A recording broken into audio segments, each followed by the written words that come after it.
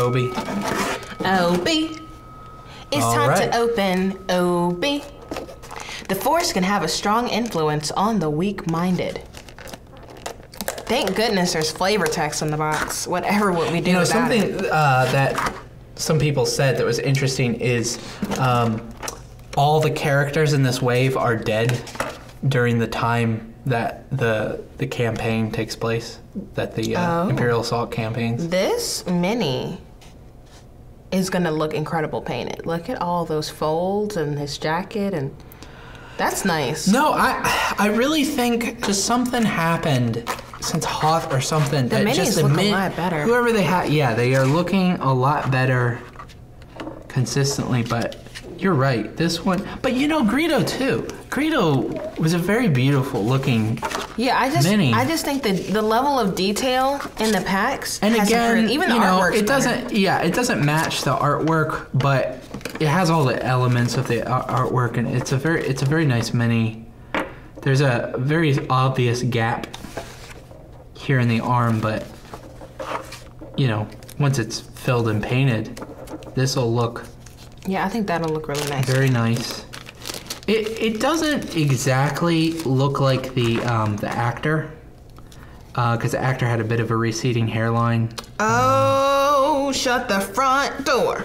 They What? put a lightsaber in this pack, friends. Surge abilities one is add two damage, two surge, you can add one damage and pierce three.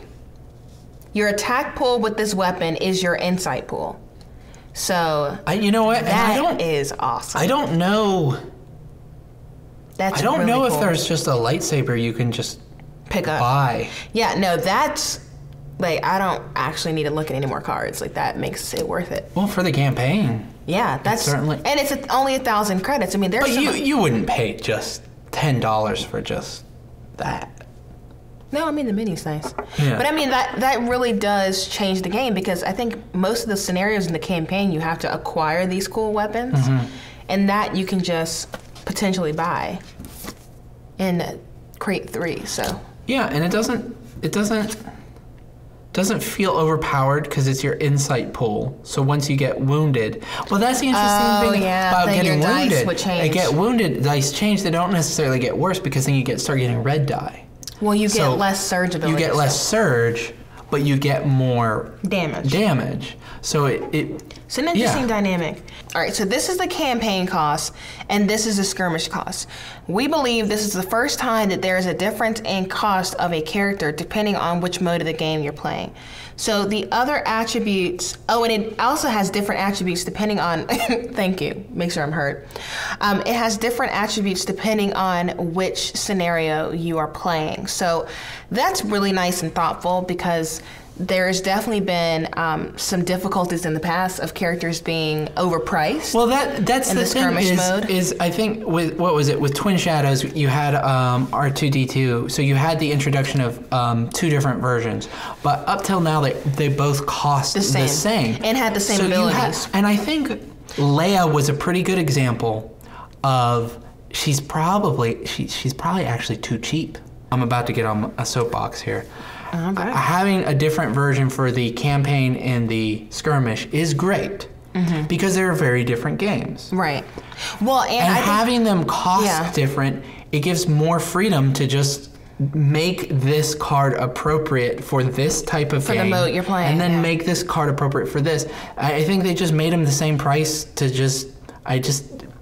They just did, and so I think uh, I think they're really beginning to understand that skirmish.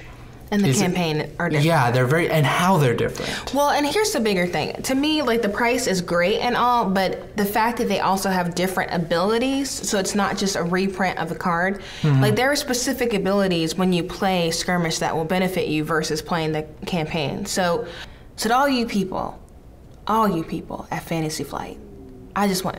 Golly, your stomach is so loud. Thank you very much, Games Workshop. Thank you. Wait, does Games Workshop make this? No, it's fantasy. It's Fantasy Flight. It's you, you're shaking me up. It's Fantasy Flight, right? Thank you. Um, so, um, the difference in the card you'll see at the very top, it'll have icons, and it reminds you on the map, which is really nice. So it shows you on the map which icons mean what, if you need a little reminder. Um, okay, but in the skirmish, your abilities are um, you automatically block a surge, and then um, your surge abilities are add two damage or pierce three. Then it says alter mind. Hostile figures with a figure cost of six or less within three spaces of you cannot interact and are not counted for the purposes of control. So as long as he's nearby, you don't control that terminal, that objective. Um, well, on some maps, it's it's a That's very big. big, deal. Um, when you are defeated, choose another friendly figure. That figure becomes focused. So that's nice. So on the way out, you could strategically sacrifice yourself to focus Mm-hmm. Well, another and- character. or it's just it's just something you know you Yeah. get when you die. In a way, you know, that's like better than parting shot to me. Cause like I don't know.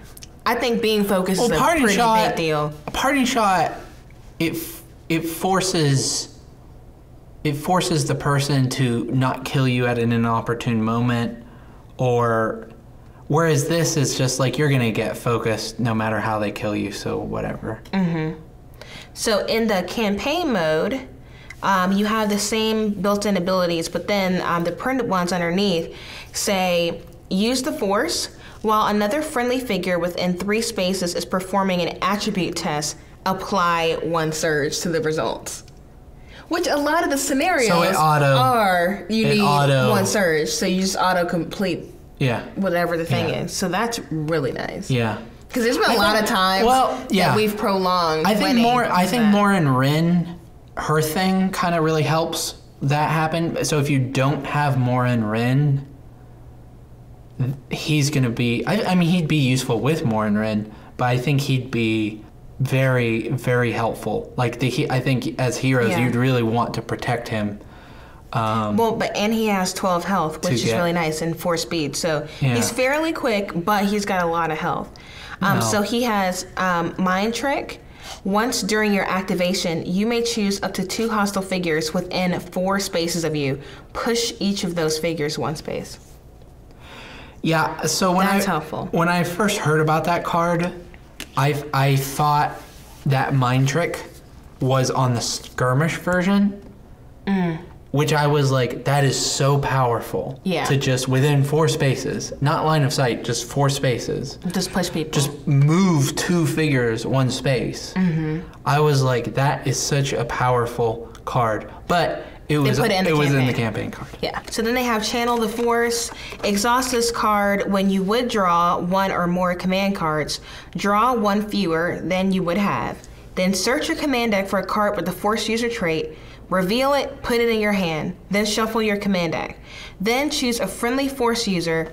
That figure suffers strain equals the cost of reveal card. So you can decide to take one one fewer command card, suffer strain to one of your characters. You just But you, just, get the card. You yeah, want. you just yeah. So that could that could be nice. Depending on the scenario, you may say, "Oh, well, you know, I really want one of his special cards." Well, yeah, I mean that. I mean that gives you auto, auto, son of Skywalker. Um, And to be you honest with you, I I could see this being very helpful in the very beginning. Oh. because it's like if you don't have you don't have a ton of strain, it's like, oh, I'll just get the card very- I want. It allows you to get those very powerful, potentially several very powerful cards um, of your Force users right off the bat. Mm-hmm. I think this makes some all Force user lists pretty. Not even all Force user, because you literally just have one and one special card. One- yeah, one character you can just you, nerf, You yeah. assure you're gonna get it. right, that's just really nice. Yeah. Okay, so Force user cards. We Mm-hmm. got our Obi Wan Kenobi. Um, at the start of the round until the end of the round, hostile figures cannot declare attacks targeting you unless they are within three spaces of you. Wah wah. But at least it only costs one. Only costs one. So the next, uh, the next couple they provided cost two. Um, at the start of the round until the start of the next round, hostile figures within three spaces of you cannot interact and are not counted for purposes of control. So, it's, actually, it's like his alter mind ability. Yeah, but but- but for an, a, For another Force but for any force user. But this could be really, really awesome to play in those. You Um, just whip it out. well, no, in those maps where it's like, oh, if you are, if you have control of the cantina, you get seven victory points or whatever it is. Like if you Mm-hmm. Play this card, yeah, and if well, you could play this card, yeah. then they could set things up Yeah. to have control Well, of and that's the thing, and you just if play you- that. if you- okay. Use at the end of your activation to move up to one space. Then choose an adjacent hostile figure. That figure suffers two damage and one strain. That's nice. So you could end your turn not being adjacent, play this to move up to one space, Oh, okay. and then that stuff automatically Yeah. happens. Yeah. So that's, nice. solid. That's that's a solid. So all card. that being said, we got a lightsaber it's- in here. We got some good a- force user good- cards. Yeah, it, it really helps with the force users. Like it seemed like in the last wave, you got a lot of spy stuff. Mm-hmm. Um, this now it seems like you could make a decent rebel force user list, which I'm sure a lot of people like. But even in the campaign, you got a lightsaber now that you can just buy. Right. You would think they would have done Yeah, this I sooner. think in I a think way. this um, kind of really makes that. I got it in there. You got it. if one way. One way over another. All right, we got one last one.